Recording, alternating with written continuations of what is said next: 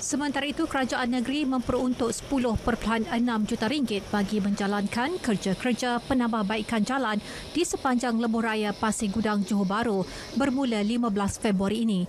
Fokus diberi kepada penampalan lubang di laluan sepanjang 11 km dan dijangka mengambil masa 2 bulan untuk siap. Sepanjang uh, kerja-kerja penambahbaikan atau penampalan tu kita perlu menutup satu lorong eh.